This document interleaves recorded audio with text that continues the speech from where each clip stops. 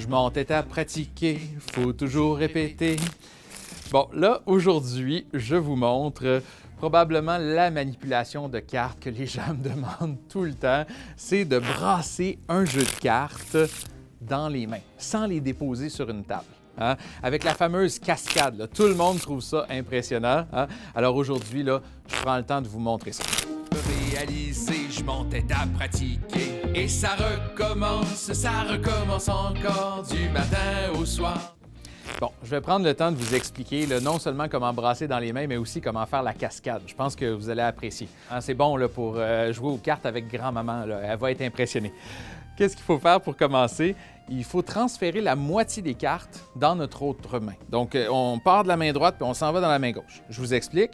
On commence dans la main droite avec le jeu entre le pouce, le majeur et l'annulaire. Et là, mes autres doigts de la main gauche vont venir se placer sur la face du jeu. Avec mon pouce, je vais passer environ la moitié des cartes, les laisser tomber dans ma main gauche et venir reprendre tout ça avec ma main droite. Je me sers par la suite de mes index et de mes petits doigts pour euh, égaliser de chaque côté pour être certain que les cartes sont bien égales. Par la suite, vous allez refermer les doigts. Donc, votre majeur, votre annulaire et votre auriculaire vont venir appuyer sur la face des cartes pour être certain que les cartes soient bien prises. Hein, On ne veut pas que ça tombe. Notre pouce est à l'arrière et notre index va venir courber les jeux de cartes comme ceci. Hein? Ça prend un peu de pression parce que dans un instant, on va laisser passer les cartes avec nos pouces, un peu comme si on euh, est en train de passer euh, les pages de la tranche d'un livre. hein. Alors, regardez bien. Hein, on y va simplement avec le coin et là, on peut brasser les cartes comme ceci. On ramène les deux paquets à la verticale vers nous et là, on va faire de la pression. Et là, je vais plier les cartes vers le bas, mes pouces retiennent le haut et là, je vais délicatement séparer mes mains et les cartes vont pouvoir tomber en cascade. Bon, c'est beaucoup, puis là, euh, ben, il faut pratiquer. Je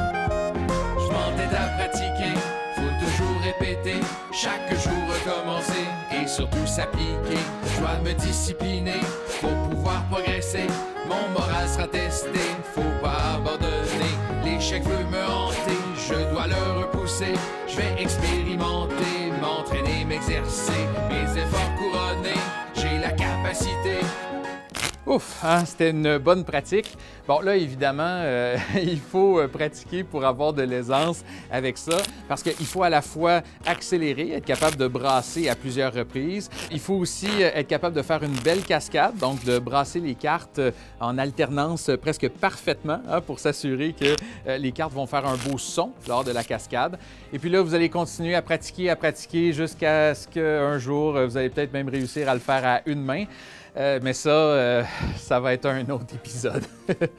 Alors, comme toujours, euh, je vous invite à nous indiquer dans les commentaires si vous avez réussi à, faire le brassage hein, comme moi. Et puis, prenez le temps d'aller vous abonner, d'aller écouter l'album de la mystérieuse école pour danser en pratiquant. Et nous, on se retrouve très bientôt. N'oubliez pas, hein, quand vous voyez quelque chose d'impressionnant, ben, c'est qu'il y a quelqu'un qui a pratiqué.